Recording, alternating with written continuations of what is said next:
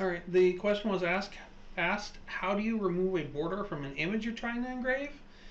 So say I'm engraving this image and I want to remove the border. Typically, what you'd actually do, I mean, it doesn't have a border. Let's just say the edge is our border. Uh, typically, what you do is you'd use an image editing, editing program, and then you just uh, process your image and then put it in here. But if you actually want to use MeerK40t, we can, in fact, do a sort of crop here using a tool that uh, Jay Pirnay came up with for keyhole images. So let's do editing, image splitting, and then uh, keyhole image. Now we select both the uh, images. So we select the image and the rectangle. I held control to select them both. Uh, the keyhole object we want is the last object here because I want the rectangle to be the keyhole. So the keyhole is the last selected object.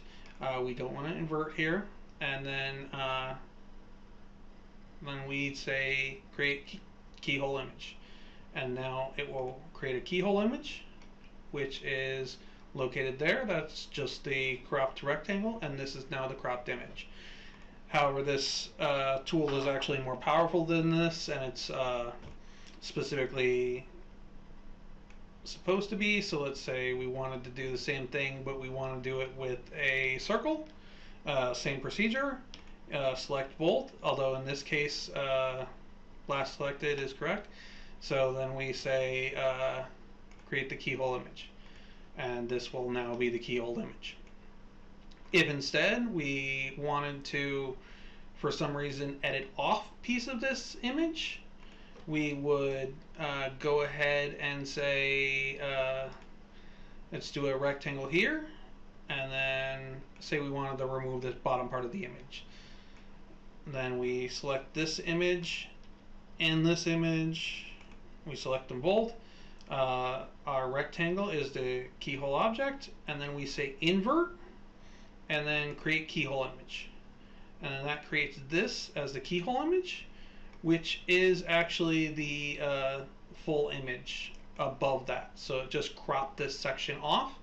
So say you ran a raster and you uh, bottom the top, but you just need the top of the raster and you know where everything is, or whatever your use case is. Uh, and that's how keyhole works. Uh, it works for any complex shape, so long as it uh, would draw. All right. Uh, Thanks for watching. Okay.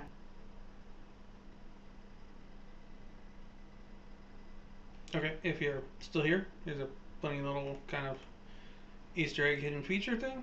I'm going to go ahead and go into console and type harmonograph.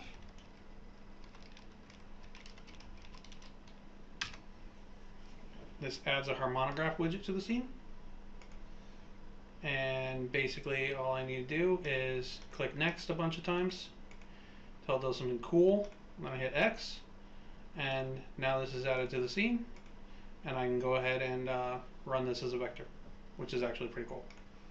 Thanks for watching.